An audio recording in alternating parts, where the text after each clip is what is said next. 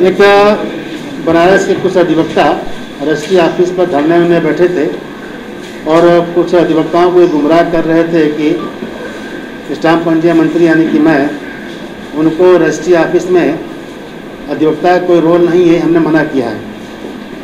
तो मैं इस पर अवगत करना चाहता हूँ आपके माध्यम से कि न मना किया गया है, न कोई जारी किया गया है निर्देश, और नहीं आगे उनको मना करने की हम लोग जिज्ञासा रखते हैं। राष्ट्रीय विभाग, राष्ट्रीय स्टाम्प एक्ट ये भारत सरकार की है। इसमें कोई बदलाव नहीं हो सकती है। बदलाव करती है भारत सरकार। इसमें क्रेता विक्रेता के अपनी इच्छा पर अपने सहयोग के लिए वह अधिवक्ता को ला सकती है। लेकिन अधिवक्ता को के बिना रजिस्ट्री नहीं हो सकती है। यह भी यह भी उसमें नहीं है। कोई भी कर सकता है। हाँ अपनी सुविधा के लिए वह अधिवक्ताओं को लेके आए। वो उनका पाठ है, अधिवक्ता समाज का। प्रहरी है वो सहयोग करते हैं लेकिन क्रेता विक्रेता की इच्छा के ऊपर है उनको रखे ना रखे।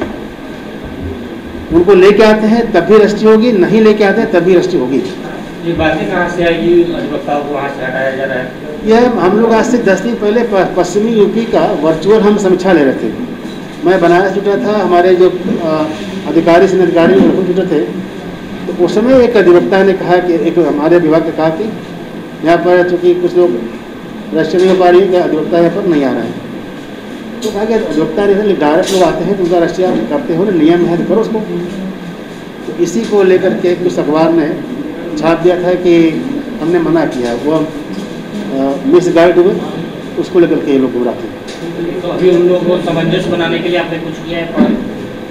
मैंने केवल आपके माध्यम से उन्हें और बाकी लोगों को अवगत करा रहा हूँ कि सरकार माननीय योगी जी के अ, निर्देश पर यह अधिवक्ता रजिस्ट्री ऑफ़िस में प्रैक्टिस करते हैं तभी और उनके बिना भी रजिस्ट्री होगी, वो आते हैं तभी रजिस्ट्री होगी। न उनका मना किया गया है और बिना उनको कोई आता है, उसका भी रजिस्ट्री होगा।